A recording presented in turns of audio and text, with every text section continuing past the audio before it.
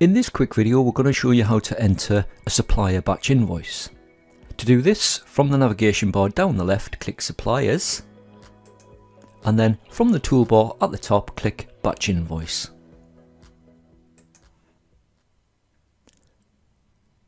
The first field you'll need to fill in is the account reference or which supplier is it you've been invoiced from. You can either type in the account reference or if it's easier, select it from the drop down list. You have an attach column. So if you have a photograph or maybe a scanned copy of your invoice, for example, you could attach that to the transaction. To attach a document, you just click on the plus sign and then you'll be able to browse to the document that you want to attach. You can attach more than one if required.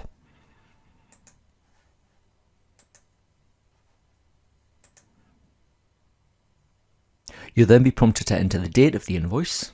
It will pick up your program date, however this can be amended if required. You then get an option to amend the due date. Now the due on date will be calculated automatically for you based on the invoice date plus the payment terms that are set up within the supplier account. You then enter the reference. So this is usually used for the, say, the purchase invoice number. You can also enter an extra reference and then you'll be prompted to enter the relevant nominal code. Now the nominal code will also be picked up from the defaults within the supplier's record. Again, this can be changed if required.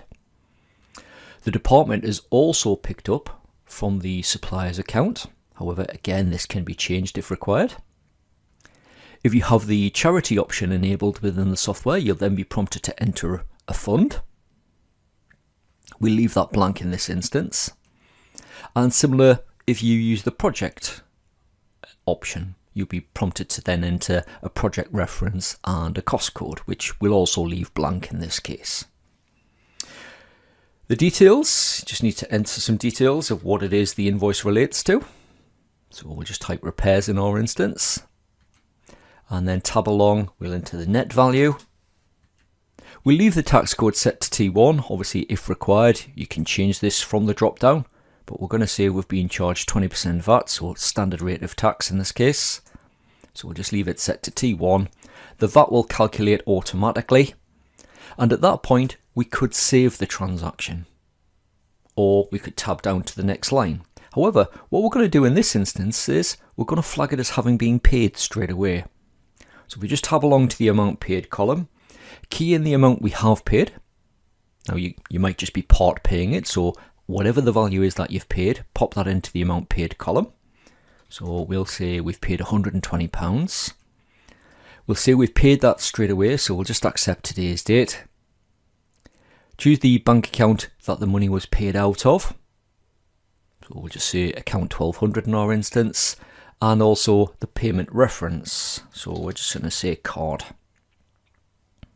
If necessary, because we are in the batch invoice screen, we can tab down to the next line and we can start entering additional invoices.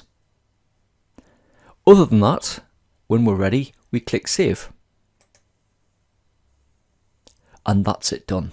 If we click Close, and we go back into the relevant supplier, have a look at the activity, we'll see the invoice that we've just entered and also the payment that's being posted. And because we've entered the payment at the same time as the invoice, they're both allocated together.